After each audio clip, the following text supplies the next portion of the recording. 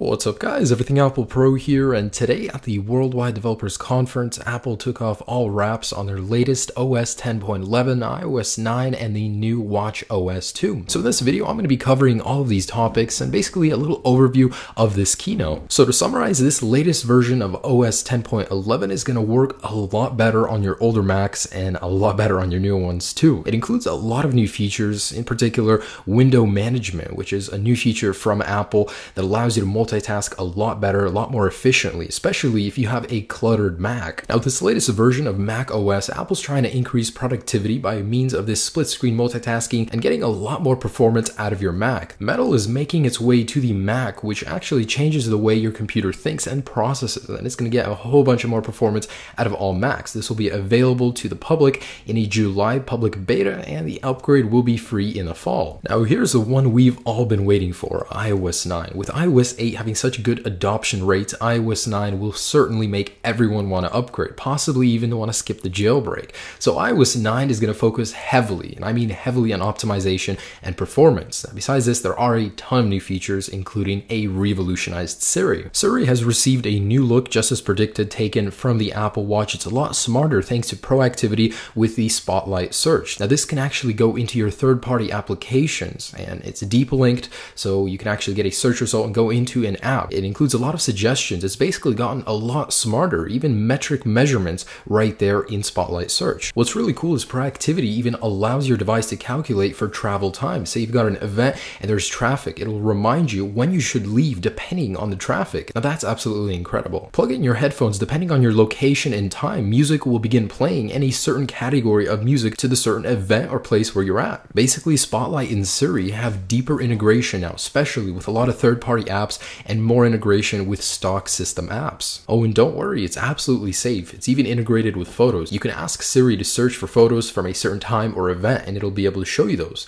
And there's a cool timeline slider on the bottom. Apple Pay has received some welcome updates. For one, you can actually add loyalty rewards cards for certain stores and depending on your location, again, that proactivity, it's going to bring up a certain card for a certain store and possibly the best change in iOS 9. Apple has renamed Passbook to Wallet and Apple has finally included support support for Apple Pay in the UK. Notes has received a welcome redesign, both in functionality and looks. Now you can include headers, paragraph, and this being an app I use a lot, that's a very welcome change. Create a to-do list, a checklist, that's a really nice thing. And now you can interact directly with your notes, draw and sketch within the app. No third-party app needed. If you include a link, it will now show up with a preview inside of Notes, and that's true for OS 10.11 El Capitan as well. Oh, and remember that really minor tweak I wanted Apple to add in iOS 9? Well, they did it lowercase letters now appear lowercase, and when you shift click, they will appear uppercase. Finally, Apple. Apple has caressed maps with their welcome changes as well. Now, in maps, public transit has finally become an option, not for all cities,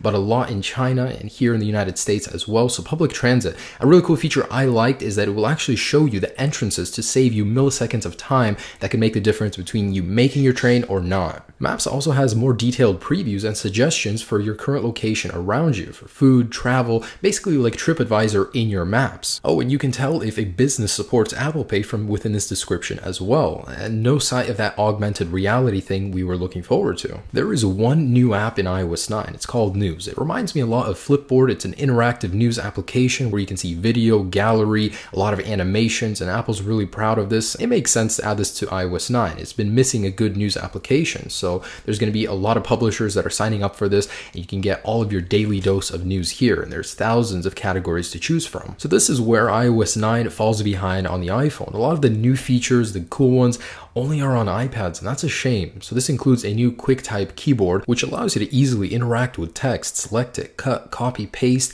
and there's a new bar only on the iPad keyboard that introduces shortcuts right there along with SwiftKey. And if you guys use a Bluetooth keyboard with your iPad, you now have a list of shortcuts that will be brought up when you connect this keyboard. Really nice feature. And just to give you an idea about this new keyboard, you can select text very easily. It's meant for productivity, and it's taken straight from the jailbreak. It was otherwise known as swipe selection. Quite shameless of you, Apple, but I'm glad you added it. And this brings us to the best feature yet biggest disappointment because it's only available on iPad, and that's split screen multitasking. And it begins with a larger multitasking pane. You get a full screen preview. Swiping through apps is now easier, and there's a new slide view. So you can slide from the edge of your screen. It's like the notification menu on OS 10, and you get a quick preview of another app. Now slide it directly into the middle and you now have true split screen multitasking. You can interact with both at the same time, which is really cool. Sadly, the iPhone gets no love here with slide view being available on these devices and split screen view only available on the iPad Air 2. And there's a new picture in picture video multitasking view. Surprise, surprise. I wonder where Apple thought of this from. Well, Android had it first. But to be honest, Apple did it right. It's very optimized, looks very fluid, and it's going to run very well. So overall, design-wise, feature-wise, there's not much that makes iOS 9 a worthy upgrade until we get to this part. And this is what I'm most excited about. iOS 9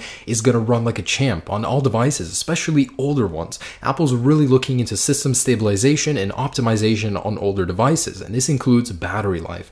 A welcome change. Thank you so much, Apple. Apple's Metal will now be used in stock system applications, which means better scrolling, better performance, and overall fluidity. Now hold the applause, it gets better. iOS 9 will also improve your battery life, up to an hour for an iPhone 6, other devices unknown at the time. And iOS 9 will go from a minimal 4.6 gigabytes required to just 1.3 gigabytes to install. That is progress. Some new changes for the Health app include some water intake, a couple other ones as as well. HomeKit is now supportive of new devices such as shutters for Windows. CarPlay is now wireless, which is cool. And the Swift language has been upgraded to Swift 2, which will allow developers to create a lot of cool new things. iOS 9 for developers will be available today. For public beta, it'll be available in July and the official release in September with the iPhone 6s. Now, the best part about this iOS 9 release is that it's going to support all of the devices that currently support iOS 8. And this is fantastic news because Apple's going to optimize optimize them and make them run a lot better than they do right now. And of course, Apple did launch that long awaited Apple Music service. So basically, what it is, is it's a streaming service with all of your music. It's going to make it the most accessible music streaming service in the world, as well as a global radio station, which will be really nice. It'll have a very personal touch it's going to be a $9.99 per month streaming service, and it'll be everything you dreamed of in terms of music. Basically, it's a non region locked music streaming service. Everyone will hear the same thing no matter where you are around the world, and it's an easy way for producers to get in touch with their fans. It'll be an all in one inclusive music application, and I cannot wait to try it out. And lastly, Apple Watch OS 2. With custom watch faces, some new ones from Apple, you'll actually be able to use third party information in your watch faces, so that's a really nice touch there's a new time travel feature which will allow you to use your digital crown to go back and forward in time to see events and activities you had yesterday or tomorrow or later today, and a new nightstand mode with buttons used for snooze and end alarm. There are now two pages for friends while I'm sitting here not even having one person I know use an Apple Watch. You can now draw in different colors. How great! Now, this being a feature I don't see being used often, you can reply to email on the Apple Watch with short messages. Third party applications now have access to your activity monitor. You can now ask Siri to begin a workout. Nobody asked for this, but you can actually share your activity with other people.